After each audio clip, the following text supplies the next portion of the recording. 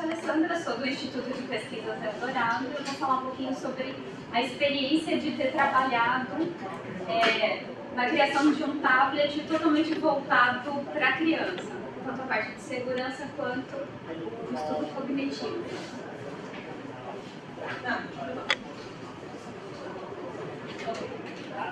Primeiro vamos entender um pouco é, sobre o desejo que a criança tem de usar a tecnologia. É, elas observam comportamento dos pais e dos responsáveis por ela e elas querem aquele, aquele objeto. É muito interessante se aquilo prende os pais por tanto tempo, porque deve ser legal. Segundo Piaget, no desenvolvimento cognitivo, a teoria de desenvolvimento cognitivo, ele, ele diz que as crianças querem ter o domínio sobre os pais e sobre os objetos que os pais Então, nada melhor que toda vez que o pai pegar o celular na mão, ele ficar desesperado porque quer também. Aquilo é um meio de dominar a relação intertotal entre os pais. E eles estão passando por um momento de refinamento sensório-motor, e isso é muito interessante.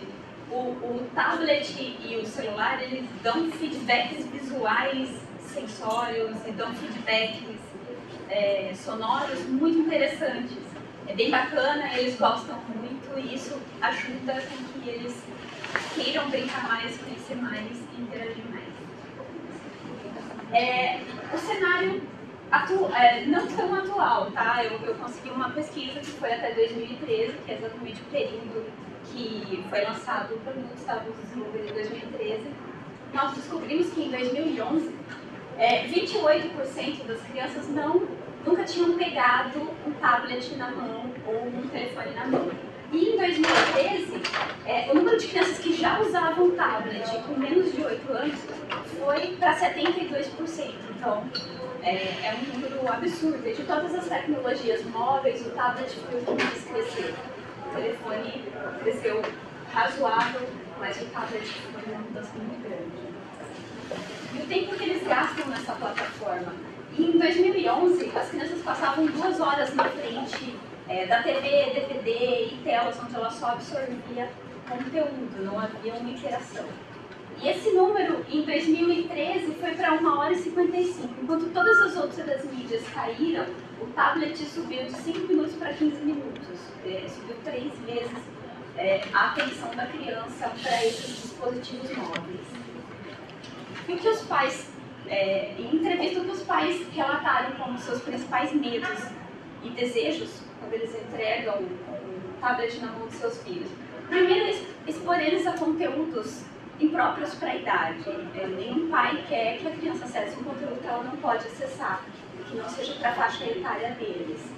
É, existem muitos aplicativos que tem links direto em websites com compra, as crianças navegam com muita facilidade, eles realmente conseguem ir muito além do que é só aquela telinha. Os pais entregam na mão da criança, virou as costas, eles estão fazendo milhões de coisas que não sejam naquela telinha. Então, ter o total controle e administração do conteúdo que eles estão assistindo é muito importante para os pais. Eles não querem que a criança saia do lugar seguro. E toda vez que, que nós vemos filhos, sobrinhos, primos ou uma criança muito pequena usando um dispositivo com muita facilidade, ficamos orgulhosos, né? Olha que bonitinho, tão novinho, já usa tablet com tanta facilidade. Eu demorei tanto para aprender, né? E ele já está tirando foto e vendo o que ele fez, né? É, esse, esse estímulo, esse feedback que damos para eles é muito bacana é, porque nós achamos que ah, estamos preparando eles para uma nova tecnologia, é muito bom eles saberem disso, porque é uma tecnologia que eles vão trabalhar no futuro. Nós estamos reforçando um, é, pode ser positivo, pode ser negativo. Estamos reforçando o uso da criança nesses dispositivos móveis. É, e o que os especialistas, vamos entrevistar especialistas, pedagogos e psicólogos. Primeiro, a insegurança de conteúdo é o que todo mundo diz em primeiro lugar. É muito perigoso uma criança acessar alguma coisa que não é próprio para a idade dela. E a facilidade de emulação que o tablet pode fornecer para a criança pode ser um risco. Há teorias de que uma criança nessa fase possa se tornar um adulto antissocial, porque é, de 0 a 4 anos é a idade que eles estão começando a aprender a se comunicar, a interagir com outras crianças. Se você cortar essa fase, pode ser que no futuro ele tenha problemas para interagir com outras pessoas. O desenvolvimento psicomotor, que é muito bom para o refinamento da, da coordenação motora fina da criança. Então, realmente, tocar nos pontos e ter feedbacks é importante para o desenvolvimento motor da criança. E a rápida absorção de conteúdo e aprendizado. Tudo que dá feedback visual e sonoro é interessante, a criança gosta e isso faz com que ela absorva conteúdos muito rápido. Por isso os aplicativos para crianças são tão barulhentos.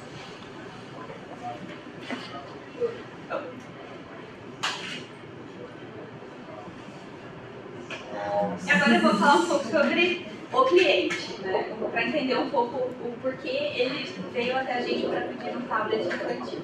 É uma empresa brasileira de eletroeletrônicos que foi fundada em 64 em São Paulo, no bairro de Pinheiros, e de 70 a 80 ele atendeu o mercado de áudio sofisticado. Ele adquiriu várias empresas ao longo desse processo e, uma, e, e foi responsável por trazer o Atari para o Brasil. Então, nós conhecemos isso, nós brincamos muito com o Atari sem saber que era deles. Né? E é, faz parte da infância, pelo menos dos brasileiros. Né? Todo mundo, se não brincou com o Atari, brincou com um objeto desse. É, o que eles estavam pedindo quando eles veio para desenvolver esse, esse tablet? Eles gostariam de atender crianças de 0 a 4 anos. Eles têm no mercado tablet para crianças acima de 8 anos. Só que isso gerava uma confusão, porque normalmente é, as famílias, elas poucas. Agora temos núcleos de uma criança na família, mas até pouco tempo atrás todo mundo queria ter dois filhos. Então, quem tem um filho de 8 anos normalmente tem um filho menor de 4 anos, ou a diferença é grande, a diferença é pequena, mas a faixa etária são diferentes.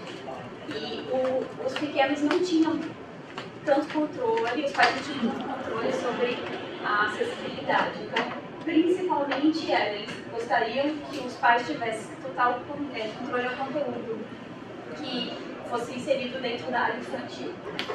É, bloqueio de sites indesejados, então temos browser que faz todo o bloqueio, os pais colocam palavras-chave, conteúdos, endereços e tudo é bloqueado, a criança não consegue acessar mesmo que ela entre no navegador. Gerenciamento de até três perfis, exatamente porque as crianças é, dividem o aparelho, né? Você vai precisar comprar uma para cada um, sendo que elas vão passar um período determinado de tempo, elas podem internar. Então, são três perfis diferentes. Diferenças de idade, você pode selecionar o conteúdo que cada uma vai conseguir acessar.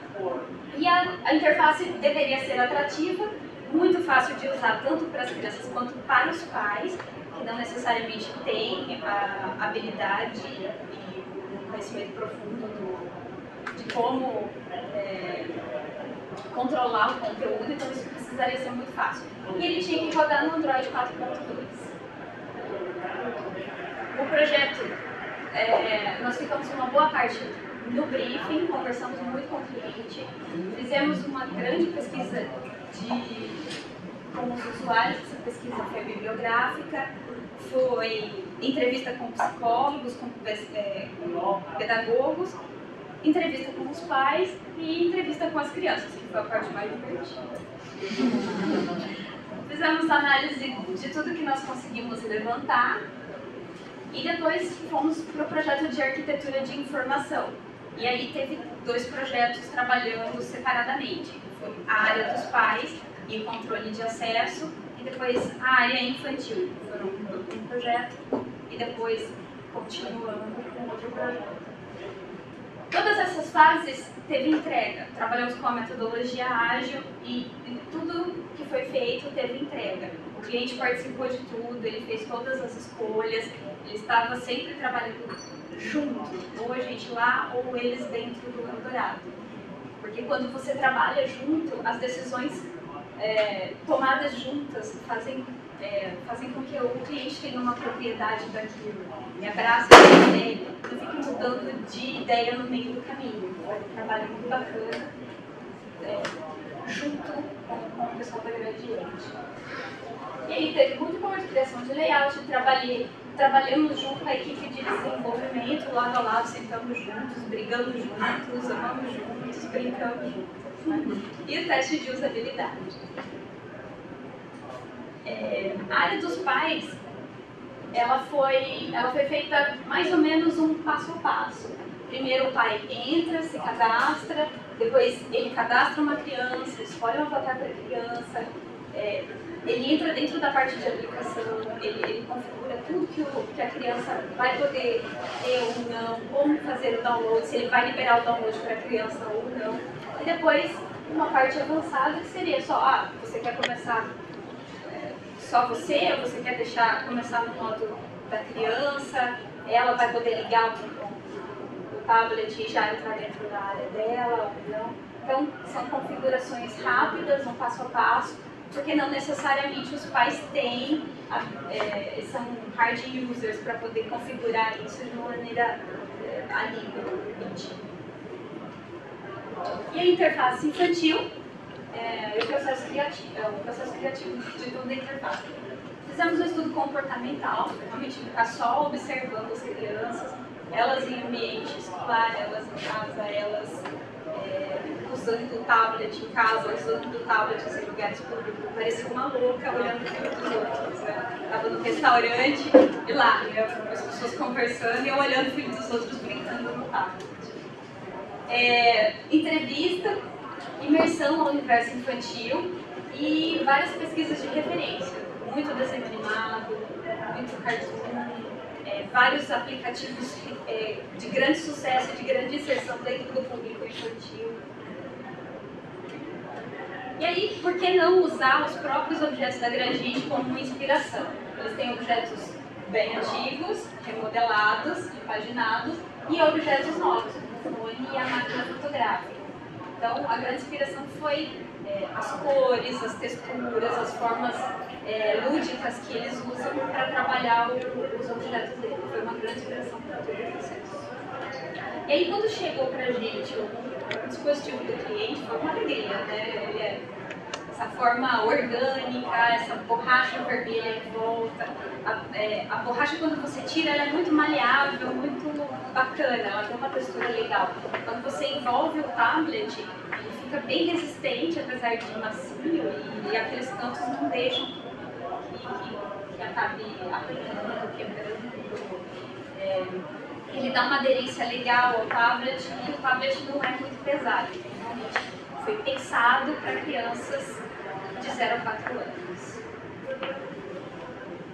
E o produto final, é, trabalhando junto com a Gradiente, o que nós conseguimos fazer, o trabalho conjunto foi é, os tablets de funções, é, os ícones de funções do próprio tablet, eles pediram para que fossem bem grandes e que fossem inspirados nos produtos da Gradiente mesmo, uma máquina fotográfica, a, a gravador de voz, o caderninho, então tudo inspirado nos próprios produtos da Gradiente. Muita textura, a, a ideia era passar uma sensação tátil de borrachinha mesmo e eles eram bem maiores do que os ícones comuns. Os ícones comuns ficavam dentro de uma de uma borda, exatamente porque a criança não desenvolveu uma coordenação motora fina, então pode ser, em várias observações, as crianças acabam apertando o que elas não querem. Então, uma área de toque maior para elas, elas conseguiam exatamente ir onde elas, elas também estavam querendo